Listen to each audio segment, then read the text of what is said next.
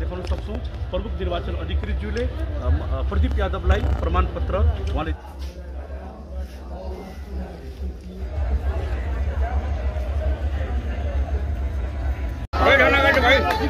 और प्रदीप जी का चल- चेहरा देखो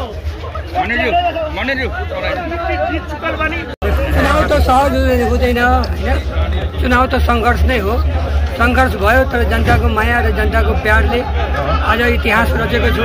दुई हजार अडतालिस सालपछि कसैले पनि दोस्रो पटक चुनाव जितेको थिए थिएन। यस निर्वाचन क्षेत्रबाट तर जनताले मलाई माया गरेको छ। जनताले मलाई आशीर्वाद दिएको छ।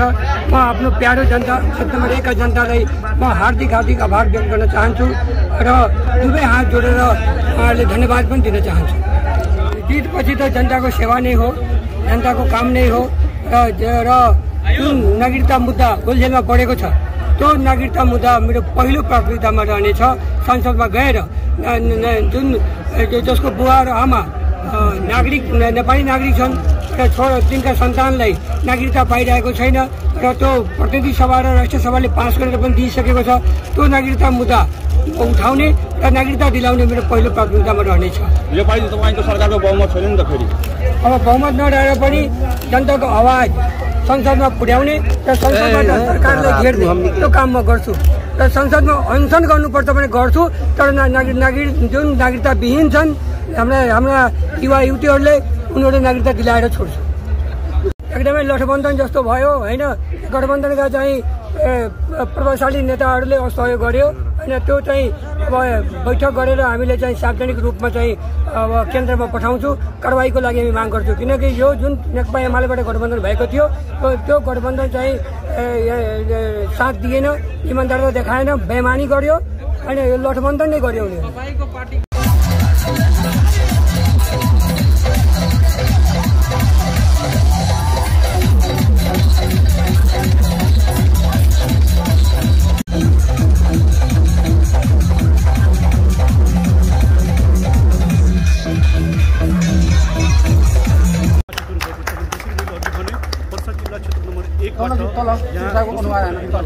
देखाउन सक्छौँ प्रमुख निर्वाचन अधिकृतज्यूले अम, अ, प्रदीप यादवलाई प्रमाणपत्र उहाँले दिँदै हुनुहुन्छ र प्रदीप यादव दोस्रो पटक माननीय पर्सा जिल्ला क्षेत्र नम्बर एकको पुनः माननीय सदस्य।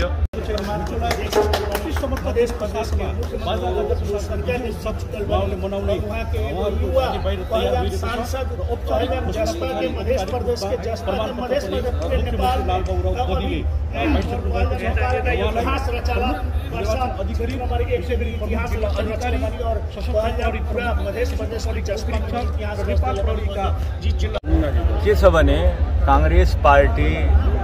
यस्तो पार्टी हो जुन पार्टी शहीदहरूको शहादतले बनेको पार्टी हो दुई हजार सात सालको क्रान्ति काङ्ग्रेसको नेतृत्वमा भयो दुई हजार सत्र सालमा राजाले कु गर्दा त्यो क्रान्ति पनि काङ्ग्रेसको नेतृत्वमा भयो छ्यालिस सालको जनआन्दोलन पनि काङ्ग्रेसको नेतृत्वमा भयो र दुई हजार बासठ त्रिसठको जनआन्दोलन पनि काङ्ग्रेसको नेतृत्वमा भयो हामी दुवैजना काङ्ग्रेसको दुईवटा उम्मेदवार तपाईँको अगाडि हुनुहुन्छ उहाँ र म पाउने चार महिना साढे तिन पाउने चार महिना जेलमा बस्यौँ लोकतन्त्रको लागि।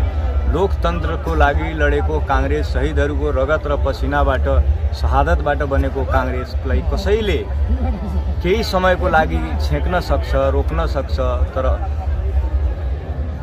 लामो समयसम्म यो शक्तिलाई यो जनताको शहादतबाट प्राप्त गरेको लोकतान्त्रिक व्यवस्थाको लागि सधैँ मरिमेट्ने शहादत दिने शक्तिलाई कसैले रोक्न सक्दैन। कुनै कालखण्डमा कुनै शक्ति काङ्ग्रेसको विरोधमा हुन्छ, त्यसको क्षति पनि काङ्ग्रेसले बेहोर्नुपर्छ। अरूलाई क्षति नगर्दा, नगरे, गरेर भए पनि, आफू जेल नेल शहीद भएर पनि सधैँ काङ्ग्रेस लडेको पार्टी हो, जनताको हक अधिकारको लागि। सदियों से रहा है दुश्मन, दौरे जहाँ हमारा। कुछ बात है कि हस्ती मिटती नहीं हमारी, कांग्रेस का हस्ती कभी मिटती नहीं। जनता को जनता को समस्यालाई सरकारमा, सदनमा उठाउने सही- उहाँहरूको समस्या व्यक्तिगत रूपमा पनि सम- समाधान गर्ने विकास निर्माणको कामलाई अगाडि बढाउने वृद्धाश्रमको निर्माण गर्ने वृद्ध आमा बुवाको लागि पोलिटेक्निक कलेज युवाको लागि बनाउने विद्यालय र स्वास्थ्य चौकीको अवस्था सुधार गराउनेदेखि लिएर अनेक उद्योगी व्यापारीहरूको समस्या समाधानका लागि पहल र प्रयत्न अब भोलिकै दिनबाट सुरु हुन्छ।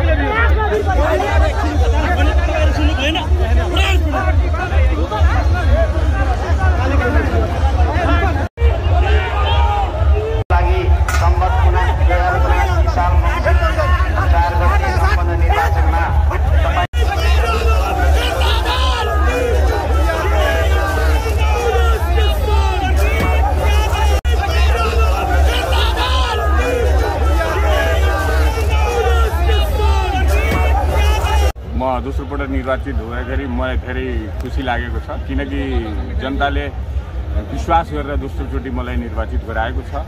किनकि मैले आफ्नो क्षेत्रमा विकासको आधार मानेर जनता ममाथि विश्वास गरेको छ। अनि दोस्रोपट्टि निर्वाचन हुँदा धेरै खुसी छु म। योपालि मैले पहिलो प्राथमिकतामा युवा स्वरोजगारको जुन देशमा समस्या छ त्यसलाई आधार बनाएर म अगाडि बढ्छु। अनि मेरो सबभन्दा पहिला आफ्नै मुलुकमा आफ्नै प्रदेशमा युवाहरूलाई कसरी व्यवस्थित गर्ने त्यसको आधारशिला सङ्घबाट हो अथवा प्रदेशबाट हो कोर्डिनेट गरेर सरकारसँग समन्वय गरेर म अगाडि बढ्ने प्रयास गर्छु।